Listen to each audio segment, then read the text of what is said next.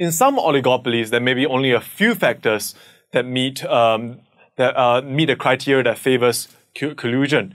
In such cases, um, price competition becomes greater.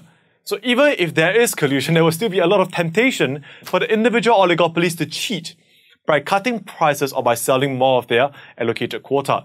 So when this happens, other members in the cartel might retaliate and price war happens. So price then falls and a cartel may very well break up. Same thing when a bunch of friends, they're trying to do something together and people backstab each other, war breaks out and no one leaves it uh, unhurt. So this is rather like a war game when generals makes allies or enemies and tries to outwit their opponents.